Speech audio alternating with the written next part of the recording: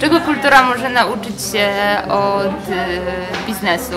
Myślę, że przede wszystkim tego, że kultura jest cenna i powinna e, bardzo jasno i na, od samego początku wiedzieć, że warto się e, wyceniać i nie mieć z tym takiego problemu.